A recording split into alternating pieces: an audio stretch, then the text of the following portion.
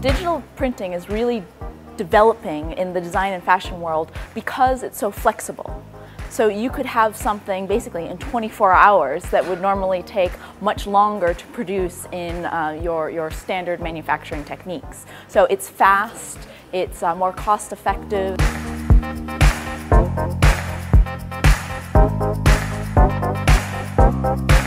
For me, one of the big pluses of latex um, uh, technology is that, that it's odorless. So when the customer opens um, the, parcel and um, sees the roll, there's not this, this um, smell coming out of the box. On the other hand, the flexibility of the ink compared to other ink um, um, technology, the, the latex ink, when I see it, to me it's much more um, flexible and bendable. So when once you apply it on a wall or maybe even on furniture or, or tricky um, surfaces, the, um, to me it always looks that the latex um, print is just smoother and it won't, won't break on the edges.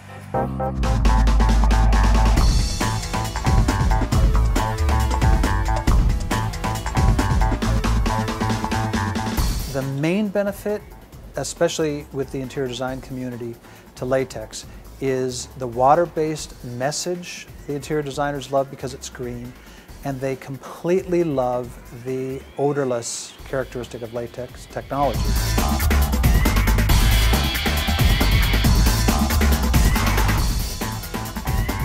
Wall covering is an industry that has absolutely undergone some amazing transformations in the last five to 10 years.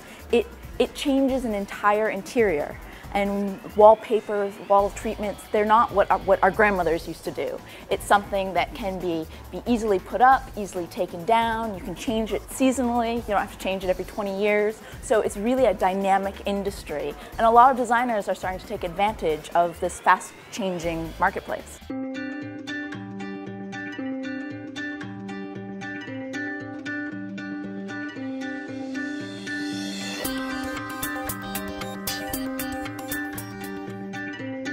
Die Latexmaschine begeistert mich immer mehr und ich werde noch weiter großartige Projekte damit realisieren. Ich bin froh, dass die Latexmaschine da ist.